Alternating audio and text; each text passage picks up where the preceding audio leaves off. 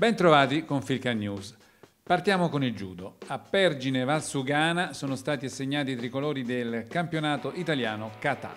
Più di 50 le coppie qualificate che hanno partecipato, molte delle quali reduci dall'Europeo di Malta, che hanno potuto confrontarsi e testare le loro performance in vista del prossimo campionato del mondo che si terrà ad Olbia agli inizi di ottobre. I risultati sono disponibili e consultabili sul sito filca.it. Ancora per il judo, la scorsa settimana è ritornato Fabio Basile, il campione olimpico di Rio de Janeiro dopo due mesi di allenamento in Giappone è rientrato per continuare la preparazione in vista del mondiale di Budapest. Ecco le sue impressioni. Oh, sono tornato.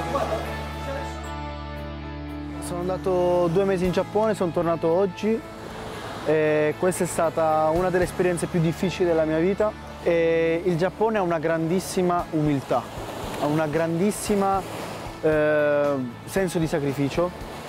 Per loro il sacrificio sta alla base di tutto. Grande stima per questa, per questa nazione qua e mi ha insegnato a non mollare mai. Io sono consapevole che quando andrò a combattere a Budapest in vista dei campionati del mondo ci saranno gli atleti che comunque vorranno battermi perché adesso non sono più l'outsider, ora sono un po' quello da battere, l'uomo da battere, però non ci sta problema.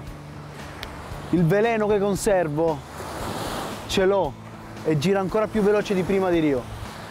Quindi cosa vuol dire questo? Vuol dire che io sono pronto a combattere, pronto a tornare sul tatami e pronto a dare grandissime soddisfazioni alla mia Italia, alla mia bandiera. Quando si vince una medaglia d'oro così importante come quella delle Olimpiadi, il trucco un po' è non pensarci, non pensare al peso che hai di portarlo avanti.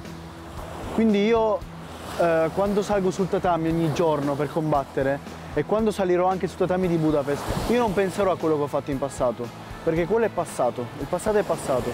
Io ora darei, darei tutto per risentire quell'inno di Mameli, tornare a quel giorno 7 agosto del 2016. Però questo tutto lo sto ricreando, con il sudore, la fatica, il sacrificio, penso che darò tantissime altre soddisfazioni alla mia nazione, alla mia bandiera.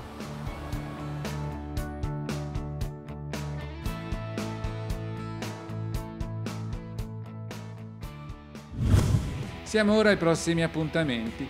Per la lotta, Dortmund ospiterà il campionato europeo juniores, mentre a Teheran si gareggerà nel torneo internazionale Yadegar Imam Cup cadetti di stile libero e greco-romana.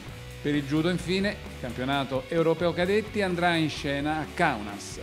L'appuntamento con Filca News è alla prossima settimana.